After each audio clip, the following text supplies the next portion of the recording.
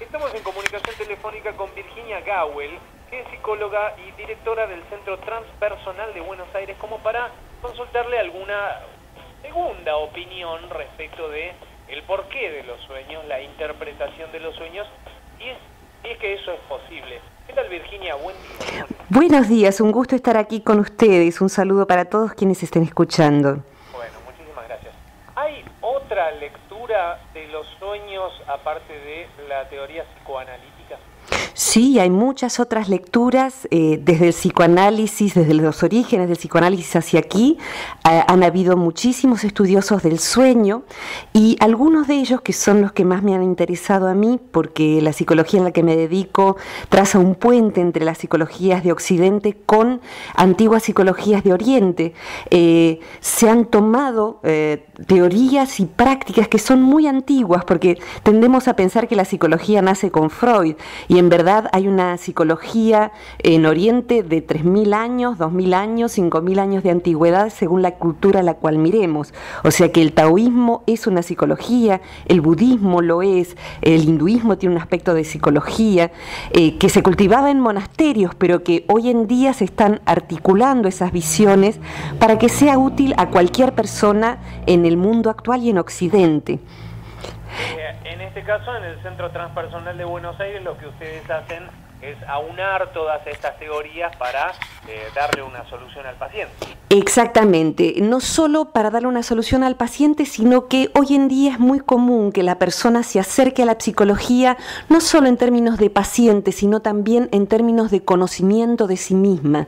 Y con, y con los sueños no es raro, como decías recién, eh, uno tiene un sueño, siente que algo está pasando dentro, que no puede ser fortuito, eso que aparece nos genera emociones, nos impregna la vigilia. Entonces, ¿qué es lo que está pasando allí? Y hay veces en que, aunque no sea un asunto terapéutico, uno desea comprenderse a sí mismo y necesita herramientas para el día a día se convierta en un laboratorio y también se conviertan en un laboratorio los vínculos, las relaciones interpersonales. Hoy en día y sobre todo muy, muy exactamente en Buenos Aires, más, más generalmente en Argentina, pero muy, muy particularmente en Buenos Aires, el buscar herramientas para conocerse a sí mismo es algo muy común a muchísimas personas, cosa que décadas atrás era como ámbito privativo del consultorio, ¿sí? Ahora, eh, respecto de los sueños, la, mm, bueno, no, no, en, la, en el conjunto de teorías que ustedes manejan, ¿Es taxativo el significado de los sueños? No, no, justamente eh, yo suelo decir que si alguien tiene un diccionario de sueños, lo mejor que puede hacer es, no sé, venderlo como papel, reciclarlo, eh, porque los diccionarios de sueños son generalidades y en verdad cada eh, elemento simbólico que aparece en un sueño tiene que ser referido a qué significa para esa persona en particular. Ese sueño que vos tuviste anoche, cualquiera sean los símbolos, aparece una casa, aparece un auto, aparece un molino de viento, significan, aluden a lo que para vos eh, representa eso, de modo muy singular y el inconsciente, que es algo muy personal, le habla a ese individuo. Desde esta visión del inconsciente, eh, entendemos que hay una inteligencia del inconsciente que se expresa no solo desde la patología. Quienes nos hemos formado en psicología, nos hemos formado para interpretar que eh, el inconsciente es algo así como el galpón donde está todo lo que no funciona, los complejos, los conflictos, los traumas. Y eh, recién desde los años 60 para acá, tomando antiguas teorías del inconsciente, que también las hay, en el budismo, por ejemplo, hay un yoga de los sueños entre los budismos en el budismo tibetano. Eh, se entiende que el inconsciente tiene una inteligencia propia que nos habla, que nos trata de orientar de distintas maneras, y una de ellas es eh, la de los sueños. Jung también eh, prestó atención a esto porque él había brevado en el yoga y también el budismo tibetano. ¿Y qué es lo que él decía? Que el inconsciente tiene su lenguaje, que es algo muy individual, y justamente Jung, que era psiquiatra y que sabía tantísimo, tantísimo, tantísimo de tantas cosas, cuando un paciente le traía un sueño y le decía, doctor, ¿qué significa esto? Y él decía, no tengo la menor idea, vamos a ver juntos de qué se trata. Esto quiere decir que eh, un diccionario no nos puede resolver qué significa el caballo con el que soñamos anoche, sino que es el caballo de Octavio, el caballo de Virginia, el caballo de Marta. Eh, es el caballo que tenemos registrado en nuestra interioridad según nuestra memoria. Yo me crié entre caballos en una granja, de modo que el caballo que aparece en mi inconsciente seguramente va a aludir a experiencias de mi propia crianza, distinto de alguien que se haya criado en la ciudad, por ejemplo. Sí, aparte, Virginia, mi nombre es Mario Fernández, ¿cómo te va? Hola Mariano, un gusto. no lo viste hace 10 minutos en la televisión y te fuiste a dormir con lo último que viste. Sí, eh, sin embargo, fíjate vos, ¿no? De tanto que nos comemos la vida. La vida nos alimenta de impresiones. Es decir, que recibimos millones de estímulos a lo largo de un día. Sin embargo, algún estímulo es como en la batalla naval, viste, que de pronto cierta cosa que el otro dijo, ahí sí había un barquito y uno dice hundido. Cierto estímulo que ingresó a diferencia de los otros millones de estímulos que ingresaron en un día, dispararon algo personal en vos. Por alguna razón tocaron una zona sensible tuya y por eso lo soñaste. O sea que los restos diurnos que uno, con los que uno construye el sueño no son casuales. Cuando uno investiga por qué soñaste con el señor que pasó con un carrito verde eh, afilando cuchillos por la calle, por ejemplo, si viste tantas otras cosas, bueno, ese señor, cuando vos lo viste, se llama disparador secundario a eso, movió algo que tenía que ver con tu infancia cuando te ibas de vacaciones a la costa y un día te quedaste solo porque tus papás se habían perdido en la playa. Y tiene que ver ese señor con algo de tu historia. Y aunque lo viste hoy, disparó algo muy antiguo dentro tuyo y tu inconsciente te quiere hablar de eso. Es decir, que el inconsciente, podríamos decir, como lo, lo enuncia Jung, son opiniones que, eh, perdón, los sueños son opiniones que el inconsciente tiene sobre nuestra vida diurna. De modo que, volviendo a la pregunta inicial, los sueños tienen muchas funciones. El psicoanálisis subraya que son el cumplimiento de deseos, sin embargo, cumplen muchas otras funciones y entre ellas es sobre cosas que no vemos durante la vigilia. Durante la vigilia nos miramos a nosotros mismos focalizándonos en ciertos aspectos de la vida. El sueño nos remarca justamente aquello que no queremos ver, que no podemos ver, y si nos adiestramos en recordarlos, lo cual es posible, y si nos adiestramos en interpretarlos, lo cual es posible, eh, esto es común para muchas personas, aunque no tengan estudios profundos de psicología, interpretar sus propios sueños, vamos a ir viendo qué piensa de nosotros, qué quiere decirnos sobre nosotros, esa parte oculta nuestra. Virginia, siempre tuve la duda, de cuántas veces soñamos aproximadamente. Puede ser uno toda la noche, hay varios, nos acordamos de pocos. No soñamos toda la noche, soñamos en periodos acotados, eh, es decir, que hay periodos de sueño, eh, que se llaman periodos REM, y periodos en donde dormimos sin soñar. Eh, em, es difícil discernir cuándo un sueño empieza y termina y comienza el siguiente, porque hay veces en que los recordamos con continuidad aunque no la tengan, pero se calcula que soñamos entre 20 y 40 sueños todas las noches, todas. Solamente que hay noches en que no recordamos ningún sueño, o recordamos solamente alguno que haya impresionado en particular, que nos haya impactado en particular o sobre todo aquellos sueños que están poquito antes del despertar, a cualquier hora sea que nos despertemos. Estamos en comunicación telefónica con Virginia Gawel, psicóloga y directora del Centro Transpersonal de Buenos Aires. Eh, yo lo que quiero saber es, ¿es importante para, para la persona el sueño? Me refiero en no solamente para la terapia, sino para el conocimiento de uno mismo. Eh, uno tiene que darle relevancia a los sueños o, tiene que tomarlos como una anécdota más eh, que le puede pasar en la calle, decir, ah, mira qué loco lo, lo que soñé. Es eh, realmente importante para el paciente. En principio, siendo que hace 28 años que, comparto seminarios sobre sueños y en los últimos 10 años por internet, o sea, con gente de distintos países, por, en un grupo puede haber 40 personas de 10 países diferentes. Esas personas se preocupan en comprender sus sueños. Eh, o sea, que de lo que te puedo hablar es de qué les pasa a los que sí se ocupan, los que los convierten en algo que es más que una anécdota. Creo que no hay que obsesionarse con ninguna cosa, tampoco con los sueños, pero es información que es muy nuestra, muy íntima y que mm, el, inconsciente nos regala cada día. Desperdiciarlos es una pena. Los griegos decían que un sueño, eh, eh, el, sueño era como un regalo que venía envuelto y que nos dejaban en la puerta de nuestra casa. Podíamos no abrir el regalo, pero un sueño que no es comprendido es como una carta que no ha sido abierta, dice el Talmud. Hay una carta que nos está diciendo algo que puede ser importante para nosotros, pero si no la abrimos, quedamos sin la información y con la anécdota de que había un sobre en la puerta. Entonces, lo que se puede ver es que quien se ocupa de comprender cómo puede uno abordar un sueño e ir decodificando los significados personales, que no son caprichosos, eh, te diría que la prueba de que no es caprichoso el significado es que moviliza un cambio de conducta en el soñante. Una vez que el soñante comprende qué es lo que el inconsciente quiere decir, ese soñante modifica conductas. Eh, de modo tal que no se trata de un entendimiento intelectual, de decir, uy, sí, yo tengo problemas con mi padre, sino poder encontrar recursos para trazar un puente y resolver ese problema.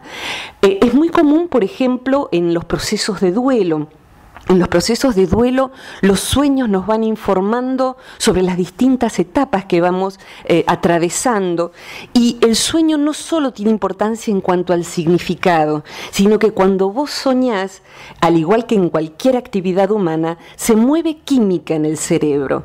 Entonces, química significa que segregamos con los sueños antidepresivos, segregamos ansiolíticos, segregamos quiere decir que una imagen por ejemplo, si yo ahora les ayudara a imaginar que exprimo una naranja jugosa, es posible que se segregara eh, saliva, ¿verdad? Entonces hay glándulas que trabajan.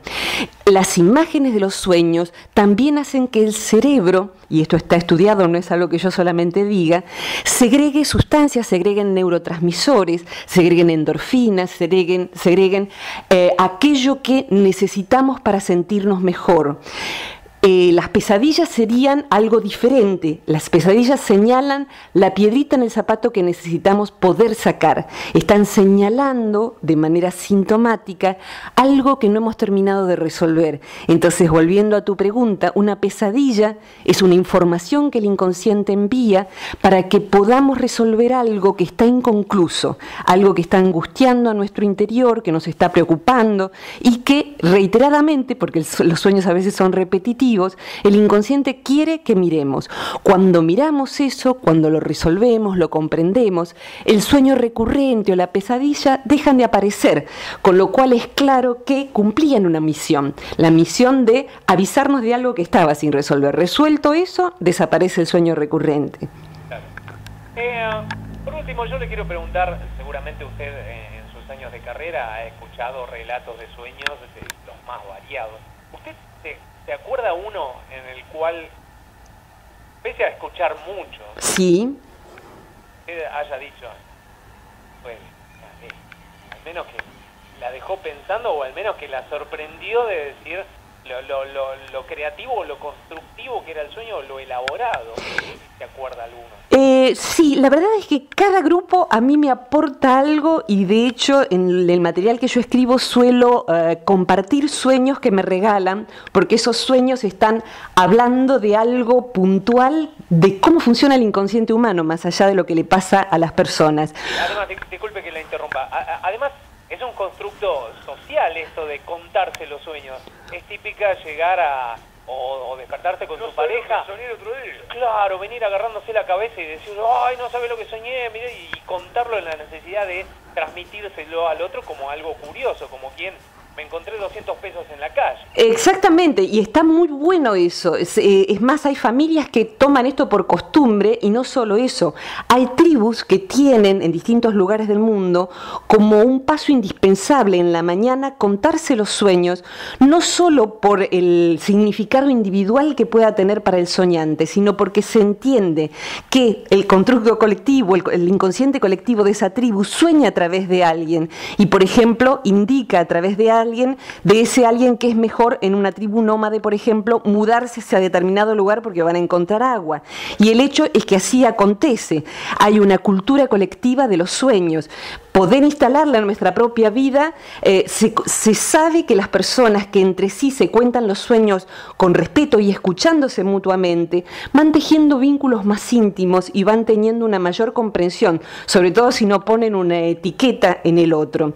Eh, ya que me preguntas por un sueño puntual, quisiera referir un fenómeno específico dentro de los sueños. Hay una médica en Estados Unidos que se llama Patricia Garfield, que tiene eh, como, como área de estudio específica cómo los procesos físicos inciden en los sueños que tenemos en la noche. Eh, es natural que micropercepciones que tenemos en el cuerpo generen imágenes oníricas. Alguien tiene ganas de hacer pis, por ejemplo, y sueña que va a un baño, por ejemplo. Sí, esto es muy común, nos ha pasado a todos seguramente. Sin embargo, ya Hipócrates eh, en la antigua Grecia se había dado cuenta de que en los sueños, al bajar los estímulos externos, tenemos especial sensibilidad a pequeñas percepciones que hay en el cuerpo. Esto significa que si hay, por ejemplo, hinchazón en una pierna, es posible que esa hinchazón se convierta en la imagen de un muñeco que tiene la pierna muy inflada, por ejemplo. El inconsciente está amplificando esa micropercepción para transformarla en algo que es una información de lo que le está pasando al cuerpo. Esta médica ha investigado a personas enfermas, a mujeres embarazadas, a personas accidentadas, viendo cómo el proceso de su enfermedad o del embarazo, de lo que fuere, va generando sueños diferentes. Y curiosamente, en los sueños a veces aparece el diagnóstico y ¿A través de qué vendría la curación? Tan es esto conocido que en la, antigua, en la antigua Grecia había templos donde ir a soñar, porque se entendía que Esculapio, el dios de la medicina, iba a dar un sueño en donde proveyera el diagnóstico de lo que a la persona le pasa y su posible curación. Yo suelo contar un sueño de mi madre. Mi madre tenía eh, taquicardias galopantes por muchos años. Ahora tiene 82 años y goza de muy buena salud.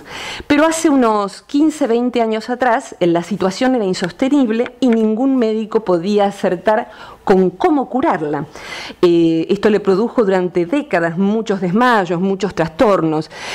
Eh, un determinado día ella tenía cita con un médico especialista fuera de nuestra ciudad, que era pequeña, y en la sala de espera yo pregunto mi pregunta, ¿soñaste algo anoche, mamá? Y me dice, sí, soñé que vivíamos en el campo y bajaba una tropilla de caballos negros que eran muy, me daban mucho miedo, galopando, galopando, galopando. Y cuando llegaban al lugar donde vivíamos, con el pecho cortaban el alambrado, entraban al campo y entraban a una laguna de agua muy limpia y yo sentía, acá pasó el peligro. Bien, me quedé con ese sueño. Al ratito nos llama el médico y cuando le hacen el diagnóstico, eh, o sea que la revisan con un aparato con el cual nunca la habían revisado, le explican que lo que tienen se llama taquicardias galopantes y que la solución era cortar un nerviecito que hacía, por decirlo en nuestro idioma, un cortocircuito, eh, era una malformación congénita, un nervio de más que ya tenía, que había que ablacionarlo, es decir, que metieron una sonda, cortaron ese nerviecito y se acabaron las taquicardias galopantes. Eh, claro, es difícil imaginar que sea una mera casualidad. Eh, a partir de allí, eso que parecía llevarla siempre a la muerte se fue, se, desvaneció como, como síntoma. De estos sueños, me viene este a la mente porque me es muy cercano y muy querido, pero de estos sueños hay muchísimos y eh, es normal que cuando alguien se pone a investigar sus sueños, si tomó la costumbre de anotar sueños anteriores, aunque no los comprendiera, cuando tiene herramientas de comprensión se dé cuenta de que esos sueños le estaban hablando de lo que en aquel momento les estaba pasando.